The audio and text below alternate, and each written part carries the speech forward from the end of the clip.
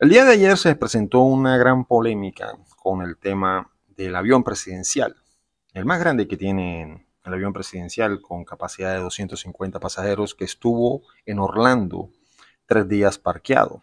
Se especuló, la prensa de derecha, era posible de que la hija del presidente, la menor Antonella, hubieran usado el avión para que Antonella fuera a Disney World. Eso se especuló. En las redes sociales generó bastante, bastante comentarios y gran polémica, especulaciones, comentarios muy negativos.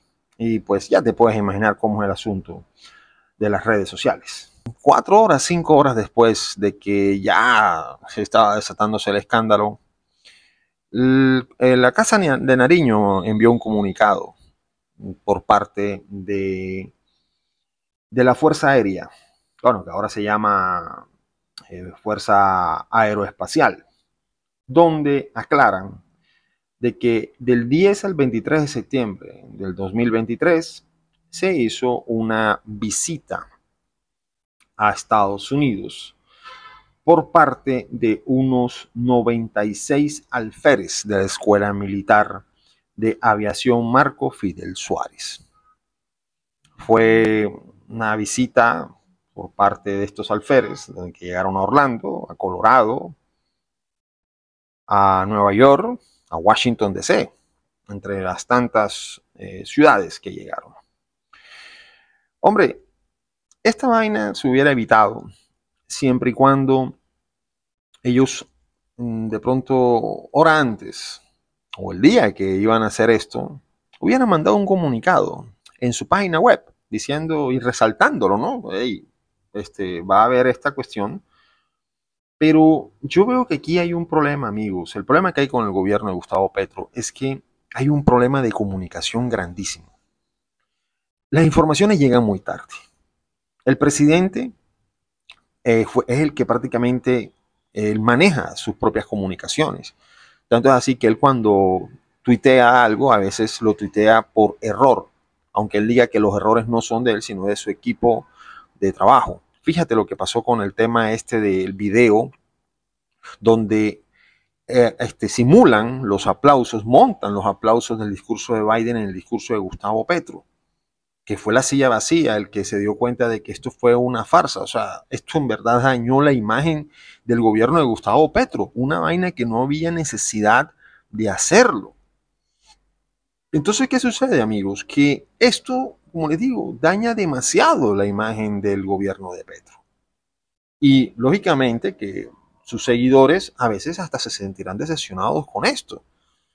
Algo tan simple como, hombre, mandar un comunicado eh, de prensa en las redes sociales, que es algo como tan evidente porque los medios de comunicación siempre están pendientes de lo que publica la Casa de Nariño y lo que publica Gustavo Petro pero las comunicaciones llegan demasiado tarde. Cuando pasó el escándalo también del retraso de la salida del vuelo de la FAC de Brasil, del avión presidencial de Brasil, no Petro estaba en Brasil, que y venía para Colombia con un retraso casi todo un día, de 24 horas, no dieron una explicación, sino que tuvo que salir después a los tres días la Fuerza Aérea a decir, no, mira, es que lo que pasó fue que hubo mal clima ese día. Pero sin embargo, la prensa, hermano, vendió todos los titulares que pudieron vender. Y, ajá, no le puedes dar tú esa papaya a la prensa porque imagínate, o sea, le vas a dar esa papaya grandísima y lo que hace es que desprestigia tu gobierno. Por eso que quizás es que Gustavo Petro tiene una popularidad tan baja. Y es que el Departamento de Comunicaciones de Gustavo Petro está tan mal enfocado que ellos al final terminaron aceptando de que sí fue un montaje los aplausos del discurso de Pedro de la ONU. Algo que ellos dicen que ya tomaron los correctivos necesarios. Y lógicamente que tienen que tomar unas correctivas, porque eso empañan a la imagen del presidente. Quizás hasta el hermano de Gustavo Petro, Juan Fernando Petro, tiene razón en lo que dijo cuando los enemigos de Petro están dentro de la casa de Nariño y como que toda esta vaina lo está demostrando realmente. Déjame tus comentarios y suscríbete a mi canal. Dale like a este video y nos vemos en el próximo video. Hey Barranquilla, ¿ya sabes cómo votar al Consejo este 29 de octubre? Primero, pide el tarjetón azul para el Consejo e identifica los globos en la última casilla de la columna inferior izquierda. Partido Demócrata, AIGO y Colombia Justa y Libre. Marca el partido y luego el número 2. Importante no salirse del recuadro. Así eliges bien al Consejo.